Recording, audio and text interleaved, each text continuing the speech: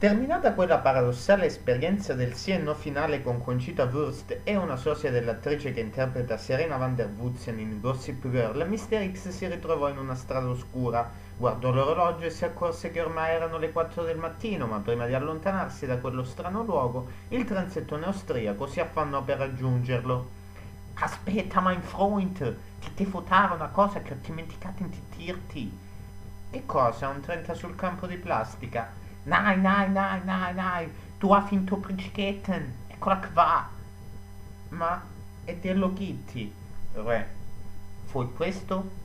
O vuoi tornare a casa tra 15 giorni?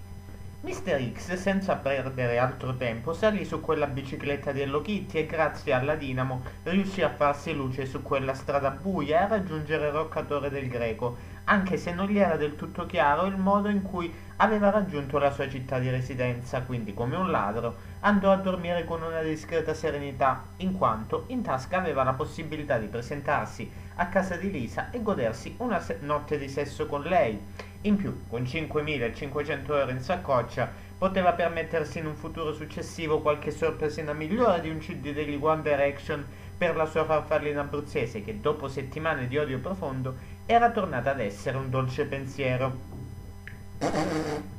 Così quella sera decise di fare una sorpresa alla sua Lisa e andò a presentarsi alla casa dello studente di Napoli intorno alle dieci e mezza di sera, l'orario ideale per fare degli incontri intimi. Con sé aveva la proverbiale scatola di cioccolatini modello Paperino deve chiedere scusa a Paperina che si sta intrattenendo con quella checca di Gastone e un mazzo di fiori dell'originale ditta Double.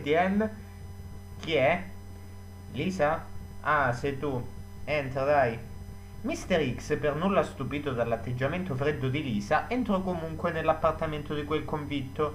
Per prolungare l'attesa decise anche di farsi sei piani di scala a piedi, senza prendere l'ascensore, intanto la ragazza abruzzese lo aspettava pazientemente sulla porta. Appena il protagonista arrivò, lei si sbottonò la camicetta da coltivatrice di pricoche a maniche a giro, da cui spuntava maliziosamente un reggiseno nero in pizzo. Che belli! Sono per me? Sì. Mannaggia. Ah, che ho fatto? Piani. Prima di dover chiamare il 118 prendi un po' di fiato e dammi qua. Lisa mise i regali dietro la porta senza far entrare Mr. X nell'abitazione. Intanto lui riprese fiato e fu finalmente in grado di fare un discorso di senso compiuto senza rischiare la morte. Perché non mi fa entrare e perché mi mostri maliziosamente le zizzette? Non credi di voler sapere un po' troppe cose? No, no, solo un po' di curiosità. Mr. X, preso dalla foga, diede un bacio sulla guancia a Lisa, che quindi si convinse a farla entrare. Lo sai che curiosoni sono anche molto chiacchieroni?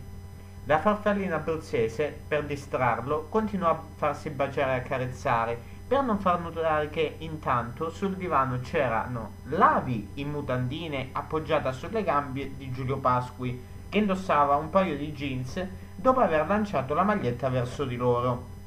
Dopo averle tolto la camicetta, però, Mr. X si accorse degli altri due ospiti in casa e rimase sterefatto ed immobile per diversi secondi. Intanto Lisa cominciò ad accarezzarsi i capelli e a guardare il pavimento. Lavi e Giulio però non se ne avvidero e cominciarono ad andare decisamente più a fondo.